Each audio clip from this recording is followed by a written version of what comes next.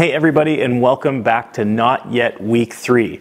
Now, this is going to look a little bit different because for the first two sessions of Not Yet, our teaching series in the month of January, we did them on site here in the youth theater, but for the next two sessions, we're going to do a little bit of a condensed session, uh, and they'll be right back to back available on YouTube whenever you want to watch them. And we're going to be continuing the series, but again, kind of condensed sessions. But here's the thing at the end of each of these next two sessions, we're going to have some reflection questions for you to think about. And so, what I want you to do is either pause now and get a notepad and take some notes while you're going, or at the end, when I give you the three reflection questions, I want you to have a notepad ready. I want you to take some time, maybe take five minutes, and think about those questions today and again when you think about it throughout the week. Because I think these are things for us to, to digest, and there's a lot of information that you're getting, but it's really good to take those reflection questions and just reflect on where you're at in terms of of the content here. Now, when it comes to our lives, I think we all make plans that just don't come to happen. They fall through, things don't happen the way we want them to. But then when it comes to like the biggest plans that we have for own, our own lives, when those plans don't happen, it's a really big deal. And I think that's especially true when we're not only just thinking about our plans for the future, but when we're asking that question, what is God's plan for our future? There's enough pressure as it is when we're coming up with plans for our future, what we're going to do after middle school, what we're going to do after high school, all those questions.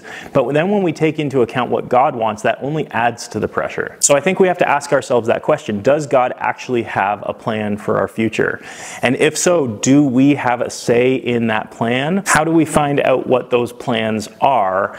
And then finally, like, what happens when God's plan doesn't align with the plan that we have for ourselves? It's pretty cool because we can look throughout pretty much of Scripture and we see different people's stories where they were trying to understand and trust and follow God's plans for their lives. Sometimes we see these stories of people who put complete trust in God, and then when they do, something incredible happens with the plans that God has for them. Sometimes we see stories of people who really struggled to see what God's plan was for their future. And then sometimes we look at stories of people like in the book of Psalms that we're going to look at tonight, where people are reflecting and praying about God's plans for their lives. So we're going to look at Psalm chapter 40, verses 1 to 5, and hear what it says.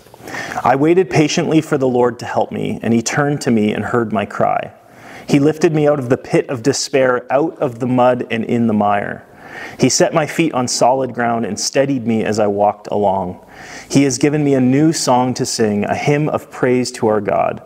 Many will see what he has done and be amazed. They will put their trust in the Lord.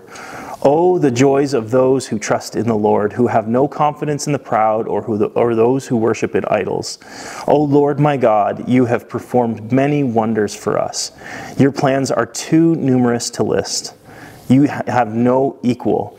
If I tried to recite all of your wonderful deeds, I would never come to the end of them. Now, we might not know exactly what David was experiencing when he wrote this song in the book of Psalms, but here's what he observed about God throughout this process. Even when life is confusing or difficult, God can be trusted. David could look back and see God at work in his life. He could see the pattern of God answering his prayers and being with him everywhere he went. And so, as he reflected on the past, I think this, there was this understanding that he could then look toward the future and trust that God would be with him wherever he went going forward. Now, in this psalm, it doesn't say exactly what God's plans were specifically, but that's okay. By seeing the pattern of God at work in the past, he knew that that trust could be carried forward into the future and that he could trust him ongoing. By looking at the past and recognizing that God had been so good to him and his people, David recognized that he could trust God going forward, even though he didn't know exactly what God's plans were. Now we're going to flip forward towards the New Testament to a story where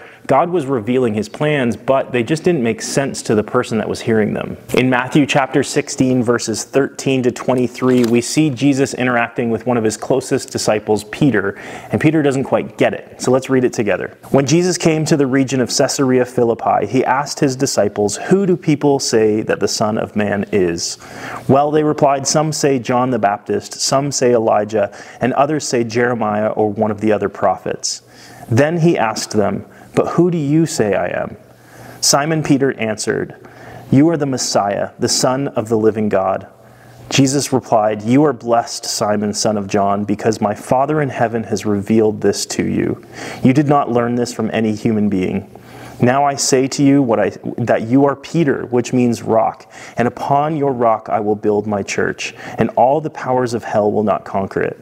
And I will give you the keys of the kingdom of heaven.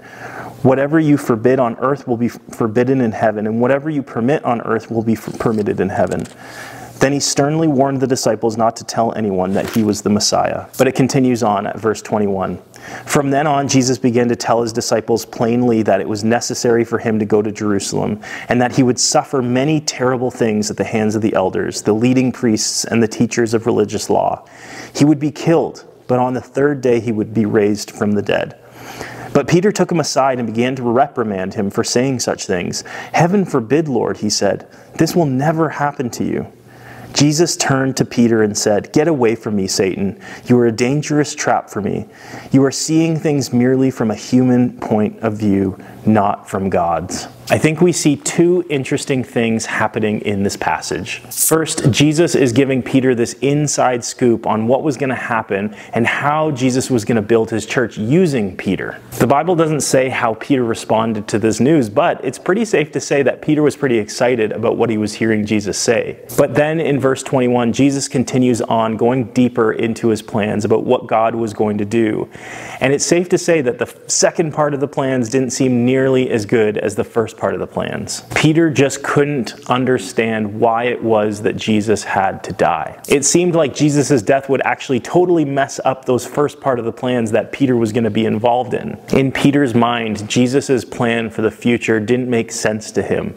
It didn't make sense that Jesus would die. How would he build his church using Peter if he was dead? This just didn't sound like something that God would do. But of course, we know that Jesus knew far better than Peter, and actually Jesus' death would mean good news. Of course, Jesus' death was a painful experience for so many people, including himself. But he recognized that after that would be resurrection and it would be the start of God's church and something beautiful, a new relationship with humanity. Peter thought that this news of Jesus' upcoming death would interfere with God's plan, but in reality, it was an essential part of what God was up to. But here's the thing we can't blame Peter for being scared and unsure about this plan. I think we all have that when the future seems scary and uncertain. But maybe Peter's reaction would have been a little bit different if he had just heard the words that we heard from David in the book of Psalms. Maybe if he had remembered those words, he would recognize that even when things seem difficult or confusing, God can be trusted. In the past, Peter had seen Jesus do so many good things in his own life and in the life of others.